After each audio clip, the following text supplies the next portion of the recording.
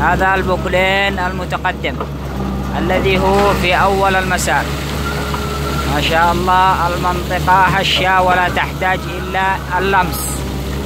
شاهدوا هشاشة المنطقة. إنها منطقة هشة وباستطاعة البوكلين يشتغل فيها سهل جدا يعني. يستطيع الإنجاز.